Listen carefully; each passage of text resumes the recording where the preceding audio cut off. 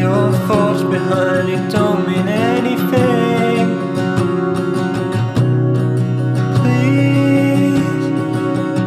Please, just understand.